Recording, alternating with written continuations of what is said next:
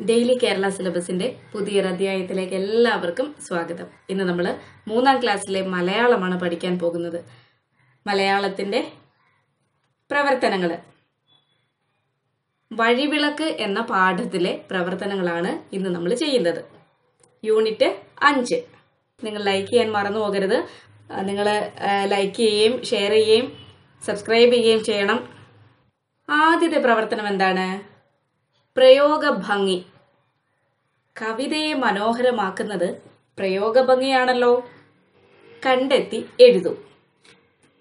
അപ്പൊ ഈ കവിതയിൽ വരികളിലെ പ്രയോഗഭംഗി കണ്ടെത്തി എഴുതാനാണ് പറഞ്ഞിരിക്കുന്നത് അല്ലേ? രണ്ട് ഉദാഹരണങ്ങൾ നമുക്ക് തന്നിട്ടുണ്ട്. മനുഷ്യരുടെ വാക്കുകളെ എങ്ങനെ വിശേഷിപ്പിച്ചിരിക്കുന്നു? മധുരമൂറും മനുഷ്യവചസ്സിനെ. അതുപോലെ കുളിരി ചൂടുന്ന സുപ്രഭാതത്തെ. അതുപോലെ നമുക്ക് ഏതൊക്കെ വരികൾ കണ്ടെത്തി എഴുതാം?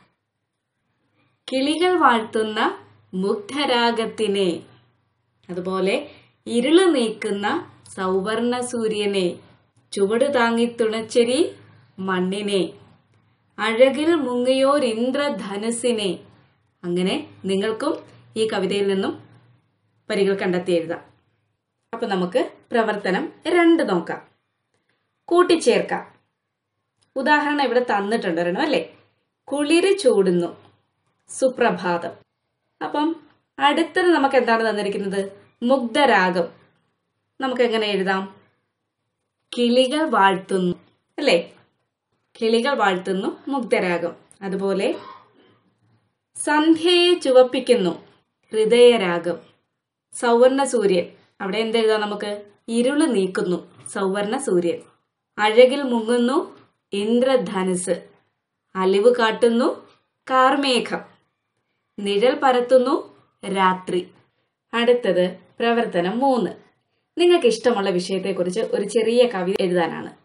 അപ്പൊ നമുക്ക് ചെറിയൊരു കവിത നോക്കാം. തുമ്പപ്പൂവേ വെള്ളിപ്പട്ടിത് നിങ്ങൾക്കേകിയത് ആരാണ്? വർണപ്പട്ടുകൾ നിങ്ങളുടുത്താൽ തുമ്പച്ചെടികൾ പിണങ്ങൂല. കവിത ഇഷ്ടപ്പെട്ടോ നിങ്ങൾക്ക്? ഇനി നിങ്ങളും ഇതുപോലെ മറ്റൊരു കവിത തയ്യാറാക്കണം. പ്രവർത്തനം നാല് നോക്കാം. കവിയെ അറിയാം. ശ്രീ കിളിമാനൂർ രമാകാന്തനെ കുറിച്ച് കുറച്ച് കാര്യങ്ങൾ. മൂന്നാം ക്ലാസ് ആയതുകൊണ്ട് രണ്ട് മൂന്ന് സെന്റൻസ് മതി. മലയാളത്തിലെ കവിയും ഗാനരചയിതാവും വിവർത്തകനുമായിരുന്നു അദ്ദേഹം. ആയിരത്തി തൊള്ളായിരത്തി മുപ്പത്തി എട്ട് ഓഗസ്റ്റ് രണ്ടിന് കിളിമാനൂർ ജനിച്ചു. എൻ കല്യാണി എസ് അച്യുതൻ ഇവരായിരുന്നു മാതാപിതാക്കൾ. പാന്തന്റെ പാട്ട് കണ്ണീരിനക്കരെ മർമരം ഹരിതഭൂമി ആരോ ഒരാൾ എന്നിവയാണ് പ്രധാന കൃതികൾ.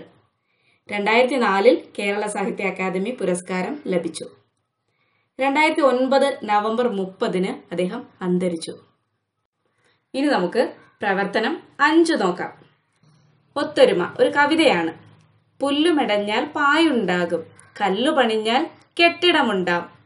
പഞ്ഞികൾ നൂൽത്താൽ നൂലുണ്ടാകും.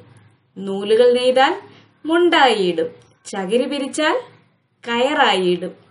മുത്തുകൊരുത്താൽ മാലയും ഉളവാം. മണ്ണുമെനഞ്ഞാൽ കലമുണ്ടാകും. തുണികൾ ഇണച്ചാൽ കുപ്പായവുമാം. ആളുകൾ ചേർന്നാൽ പടയാവും. താളുകൾ ചേർന്നാൽ പുസ്തകമാകും. അക്ഷരങ്ങൾ ചേർന്നാൽ വാക്കുകളാകും. വാക്കുകൾ ചേർന്നാൽ വാചകമുളവ. അപ്പൊ ഇതാണ് കവിത. ഈ കവിതയിലെ വിട്ടുപോയ ഭാഗങ്ങൾ പൂരിപ്പിക്കാനാണ് നമുക്ക് തന്നിരിക്കുന്നത് അല്ലേ? അപ്പോൾ നിങ്ങൾക്ക് ഈ വീഡിയോ ഇഷ്ടമായെങ്കിൽ നിങ്ങൾ ലൈക്ക് ചെയ്യാൻ മറന്നു പോകരുത്. നിങ്ങൾ ആരും ലൈക്ക് ചെയ്യുന്നില്ല. നിങ്ങൾ എല്ലാവരും ലൈക്ക് ചെയ്യാൻ മറന്നു പോവുകയാണ്. ഞാൻ വീഡിയോ ഇട്ടിട്ട് നോക്കിയിരിക്കും എത്ര പേര് ലൈക്ക് ചെയ്യുന്നുണ്ടത് പക്ഷെ ആരും ലൈക്ക് ചെയ്യുന്നില്ല. വളരെ കുറച്ച് പേരെ ലൈക്ക് ചെയ്യുന്നുള്ളൂ. നിങ്ങൾ ലൈക്ക് ചെയ്യുകയും ഷെയർ ചെയ്യുകയും സബ്സ്ക്രൈബ് ചെയ്യുകയും ചെയ്യണം. നിങ്ങൾ ഞങ്ങളെ സപ്പോർട്ട് ചെയ്യുക. നിങ്ങളുടെ ലൈക്കും ഷെയറും ഒക്കെയാണ് ഞങ്ങൾക്ക് സപ്പോർട്ട് അതുകൊണ്ട് നിങ്ങൾ സപ്പോർട്ട് ചെയ്യാൻ മറന്നു പോകരുത് ലൈക്ക് ചെയ്യാൻ മറന്നു പോകരുത് അപ്പോൾ ഇനി നമുക്ക് അടുത്ത ക്ലാസ്സിൽ കാണാം.